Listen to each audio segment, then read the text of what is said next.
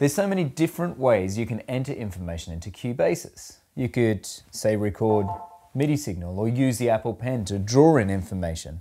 In this quick tip video, we're going to focus on how you can edit the chord buttons and the chord pads inside of Cubasis to very quickly come up with your own chord solutions, which you can then record into your project. Let's go take a look.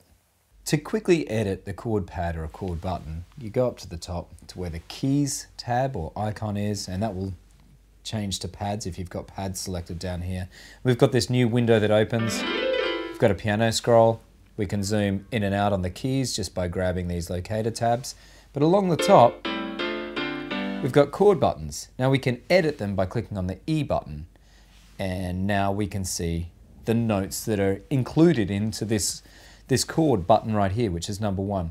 Now I can deselect notes in the chord by clicking on the ones that are shadowed out. I can add them back in again just by clicking on them. And we can do that for all of those 10 buttons there. We can also turn on note repeat, which will repeat a note depending on the time that we've got selected over here on the right hand side. Same if we hit a chord. If you want to go a bit crazy. So that's there if you need it.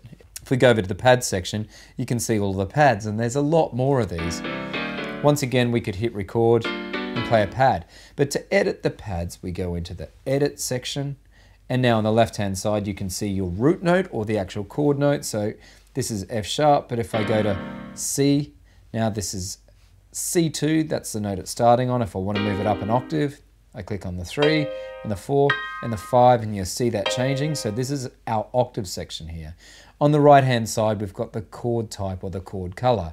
So at the moment, it's a C minor seven starting on C4. But let's change that to a C major or a C major seven. Pretty cool. Now, if we want to copy all of these settings now to another track, we just select copy all. We can go back to another track. So this guy, for instance, go to pads, go to edit, and paste all, and that will paste that new chord straight in there. So that's all pretty easy. Over on the left hand side, you'll notice for some of the tracks, you've got a modulation wheel and a pitch wheel, and it depends on what you've got selected as to whether they actually work on the track itself.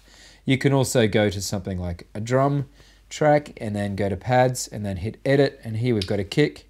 So edit, and now we can move and find another type of percussion sound that we can use inside of the track. So that's all very easy. Editing pads and chord buttons is really quick and fast.